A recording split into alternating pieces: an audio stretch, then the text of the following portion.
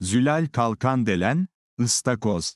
AKP milletvekili Şebnem Bursalı'nın ıstakoz paylaşımı çok konuşuldu, olay haber bültenlerinde yer aldı, sosyal medyada hakkında espriler yapıldı.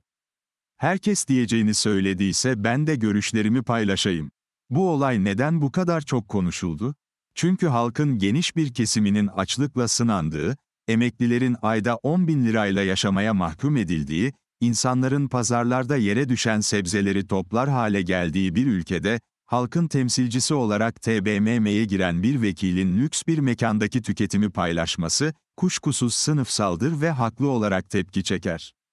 Bir iktidar partisi milletvekilinin ülkesinin koşullarından böylesine kopuk olması, üzerinde konuşulması gereken bir konudur. Her şeyden önce, sosyal medyada yemek paylaşımı yapmak, benim düşünceme göre görgüsüzlüktür. Bursalı'nın yaşanan skandal üzerine TBMM'de diğer AKP'liler tarafından kutlanması ise tam olarak pişkinliktir, siyaseten çökmüşlüğün simgesidir. Kamuoyunda dile getirilen görüşlerle bu noktalarda hemfikirim. Ancak ben olayın kimsenin gündeme getirmediği bir yönüne dikkat çekmek istiyorum. Vahşetin fiyatı kaç para? 1. Yemek olarak sunulan ıstakoz, masalardaki tabaklara koyulmadan önce hangi aşamalardan geçer? Yakalanarak canlıyken bir süre esir edildiği soğuk sudan alınıp doğrudan kaynayan suya atılarak haşlanır.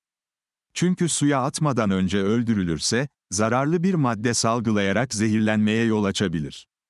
Normal olarak ses çıkaramayan ıstakozların merkezi sinir sistemleri olduğundan acıyı ve dehşeti insan gibi hissederler ve haşlanırken canları öyle yanar ki kıskaçlarını birbirine şiddetle vururlar. Bunu yapamasınlar diye kıskaçları bağlanır. Tabaklara, yemek olarak koyulan ıstakozlar, insanın en acımasız yaratık olduğuna ilişkin düşünceye iyi bir dayanak oluşturur. Hal böyleyken ıstakozun yalnızca fiyatının konuşulması, bu utandırıcı olayın yalnızca ekonomik değeri yüzünden tepki çekmesi, tam bir trajedidir. İnsan türünün geri kalan etik değerleri şimdi bazıları, ıstakozu savunmakta zülale kalmış, diyecek ya da sosyal medyadaki yaygın kullanımla, yine vegan duyarı kasmış, diyerek alay edecek. Ama düşünmeyecekler ki insanın ve insan dışı hayvanın yaşam hakkını savunmak neden alay konusu oluyor ya da böylesine büyük zalimliklere gösterilen haklı tepki neden yalnızca birilerinin hassasiyeti olarak değerlendiriliyor ve bu vahşet sıradanlaştırılıyor. Nedenini biliyorum. Çünkü bunlar normalleştirilecek ki, ucuz et için haberler yapılmaya devam edilebilsin. Bir hayvanın bedeni, et olarak görülecek ki iki ay sonra yapay dölleme ile ayakkabı, çanta gibi üretilen, metalaştırılan o canlar büyük bir korku yaşatılarak kurban edilebilsin.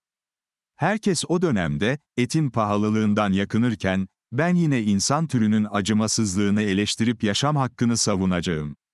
Ne zaman ki insanın etik evrimi öyle bir aşamaya gelir, yediği pahalı ıstakozu da toplumca normalleştirilen ve nispeten fiyatı daha uygun bulunan tavuk kanatlarını da sergileyenler, yalnızca insanlar arasındaki eşitsizlik nedeniyle değil, yaşam hakkına saygı temelinde etik nedenlerle toplumun çoğunluğundan tepki görür, işte o zaman insanlık tarihinde ve dünya denen bu gezegende yepyeni bir sayfa açılır.